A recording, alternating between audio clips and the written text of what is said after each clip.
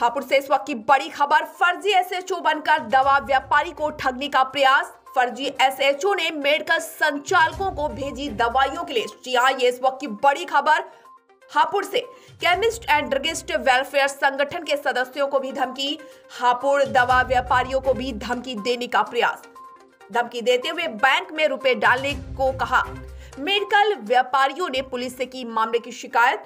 हापुड़ के नगर कोतवाली क्षेत्र का मामला। एक बार फिर से आपको बता दें, ये बड़ी खबर हापुड़ से India twenty four into seven live TV पर इस वक्त की आप बड़ी खबर देख रहे हैं। फर्जी एसएचओ बनकर दवा व्यापारी को ठगने का प्रयास।